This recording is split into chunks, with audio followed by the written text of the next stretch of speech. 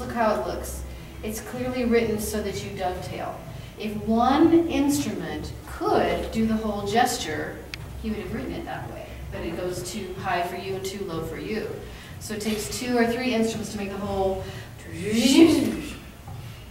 It's not a roller coaster. It's a geyser or it's a water spray or something. Um, again, the humidity. But um,